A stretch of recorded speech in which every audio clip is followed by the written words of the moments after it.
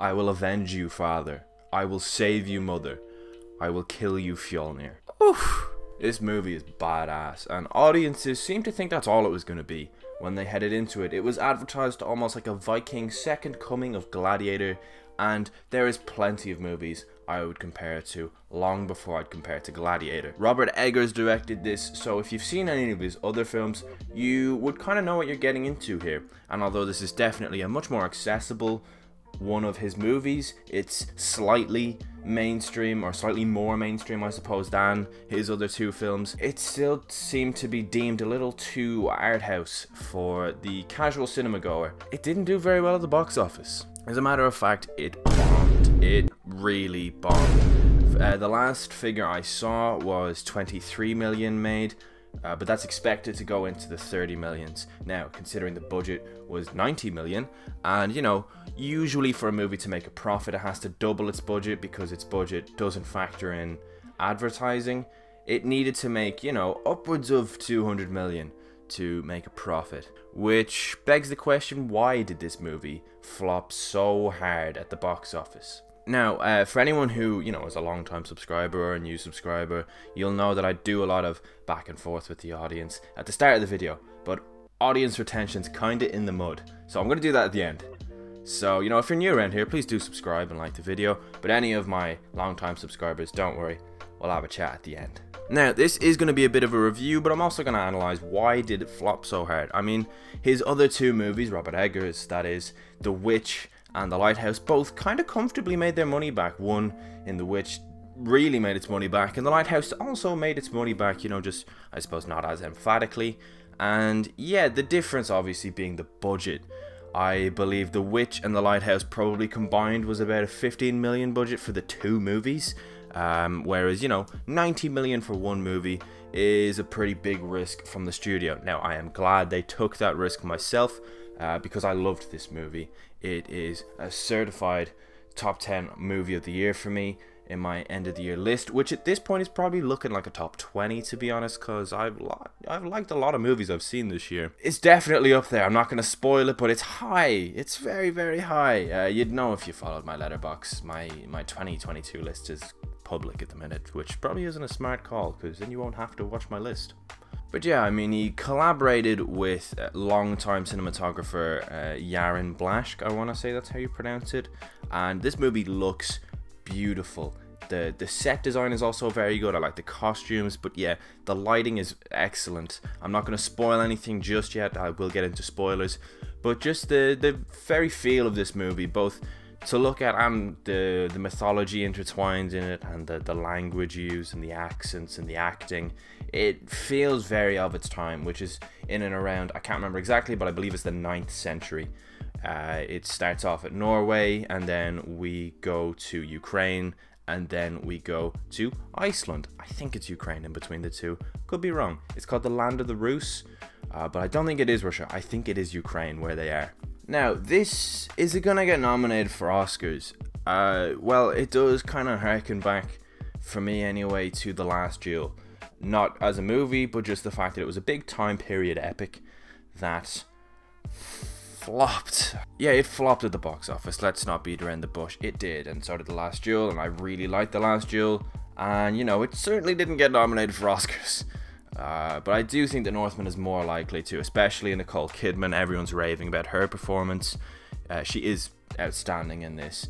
And, you know, Bjork has a, a fantastic cameo. And what we see of Willem Dafoe in this movie is amazing. I thought Ethan Hawke was very good.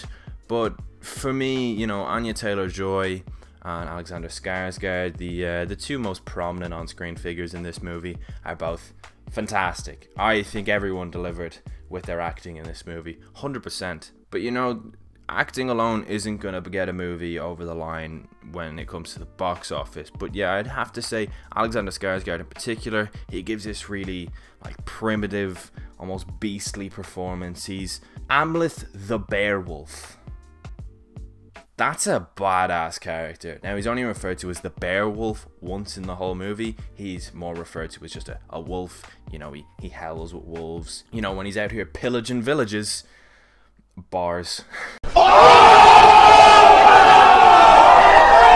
uh, he has the the wolf's head over his head, almost like a headdress. And again, you know, iconic characters because Amleth the Bear Wolf, as I will refer to him forever, is a badass, iconic character already for me. So where did this fall short? For me as a movie, it just didn't. To be honest, I really, really liked this. I like Robert Eggers, and I really like this. It's an amazing movie, but I suppose where it fell short at the box office was probably down to its marketing. Now, as I said, it was advertised as this big epic uh, and just, you know, like a, a clean cut epic, which, you know, if you know Robert Eggers, you would know that it's not going to be that. But, you know, Robert Eggers has two films under his belt, and although, you know, to a, a movie fanatic, they are like quite big films, you know, the average cinema goer is probably not going to really think that the director is going to have this massive impact compared to what the trailer has shown. The trailer shows them basically what the studio wants people to think it is, and I suppose the idea was we'll we'll trick them almost, not really, but we'll we'll convince them to come in because they know there's going to be you know some Viking pillaging and some some big scary dudes. And we'll we'll kind of hit them with the mythology and the Robert Eggersness and the the art housey uh, framing of the movie and the mythology and the supernatural elements. We'll hit them with that when they get there. And hopefully they like it. Hopefully it just sticks the landing. And in fairness, that's a pretty big thing to just like shock someone with. Like if someone's taken their now it's rated R. I was gonna say if someone takes their kids to this. In America, it's really rated R, so uh, they shouldn't be taking their kids to this. But you know, if someone's taking someone to this on a date, say, and they're like, right, we'll just watch this Viking movie it doesn't sound like it's going to be the most intellectual experience where you have to keep your brain switched on at all times and follow the story. It feels like it's going to be, you know, Braveheart, but, you know, in Scandinavia. And that's not what it is. So I can understand why people who don't know who Robert Eggers is and what his catalogue is and what this movie's actually about and the, the mythology that it's based upon I can understand why they were kind of pissed. I mean, it's even got really good reviews, and you know, obviously, good reviews doesn't correlate into good performance at the box office. But I mean, just the the very fundamentals of this movie, like the shots where the characters are say riding on horseback, and they're just like this much of the frame, and the landscape dominates the frame, or a mountain, or a volcano, or the sky dominates the frame, almost like a the gods are looking down on them because they talk about the gods quite a bit in this movie. It's beautiful. This movie is so amazing and like there's some badass stuff in there. Don't get me wrong. There's some proper badass stuff. It's set in chapters, and I believe the chapter is called "The Night the Blade Feeds," where spoiler alert. Uh, Alexander Skarsgård's character, Amleth the Bear uh, night by night slaughters these people in this village like sheep like he is the wolf hunting the sheep because he's trying to get to the shepherd.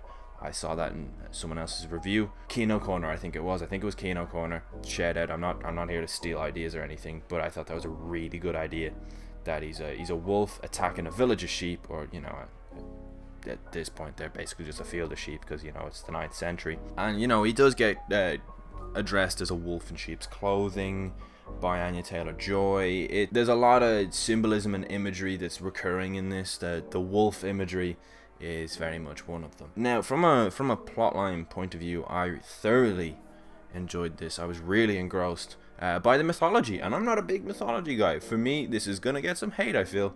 For me, I I really liked the lighthouse. I really liked it, but because I knew nothing about any of the mythology that it was uh, supposedly tapping into, that was kind of lost on me, at least on first viewing.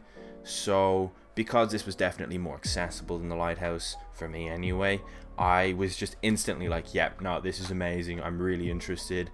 The stuff about the gods, about Freya, about Odin, I found it really fascinating. And the supernatural elements, you know, it was kind of what I wanted the Green Knight to be, in a sense, where you know he's he's not a great person is Amleth. He's he's on a path. He wants to. He really, really, really wants to get to the end of this path because he has something he just has to do, kind of to prove it to himself that his life has been worth living up until this point.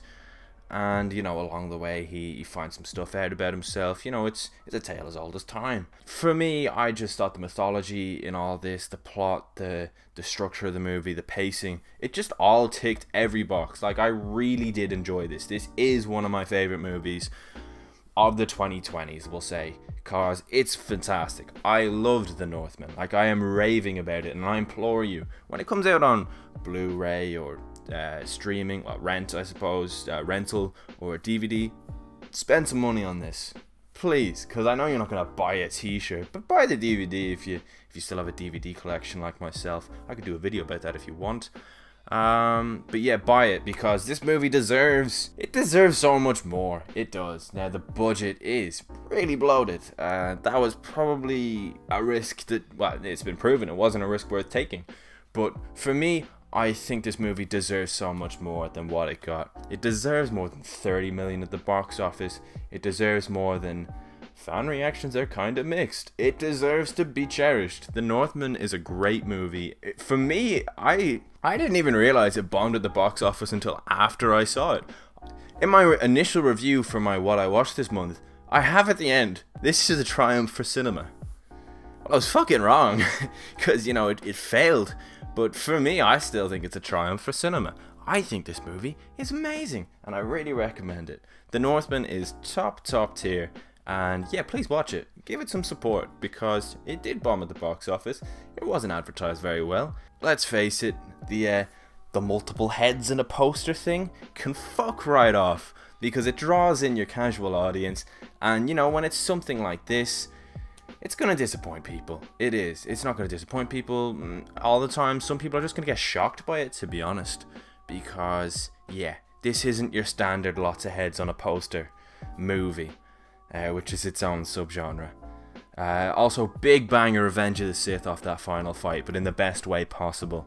God, that is such a badass fight scene, and the last frame of that is so good. Yeah, The Northman. Top tier movie. Absolutely recommend it. If it's still in cinemas near you, go see it.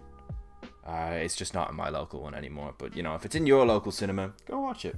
It's really good. Northman's class. Now, thank you very much for watching, guys. Uh, I realize that uh, I didn't upload last week, obviously, but I did say I wouldn't because, you know, I had my last assignments of the year. Now, I'm going to get this out, hopefully, you know, sometime this week, hopefully tomorrow, maybe. Could be tomorrow. I'm not going to tell you when I'm filming this because then you'll know if I succeeded or failed there. Uh, but I'm hoping to get this out by tomorrow. And yeah, I have a script written for another video, but I don't know if I want to put it out yet. Um, it's a character study. I'm I'm considering going into some video essays, but I'm not certain because you know, although I love writing and you know I study English, I still feel like there's a, a little work to do there before I go into full-blown video essays. So yeah, there will be videos soon. I have plenty in mind. And if you have any suggestions, they are more than welcome. If you don't feel comfortable sending them in the comments, just send us a message. But you know, comments really do push these videos quite a bit. Uh, thank you so much for watching, as I said. And if you're new around here and you've stuck around this late, I'd really appreciate it if you subscribed. I'm trying to hit 1k soon. I keep saying that, and then I like have to stop making videos for a week or two because of college. But I really, really do want to hit 1k. Really do. Right. Thank you very much. And I'll see you soon. I, I really will. Cheers, guys.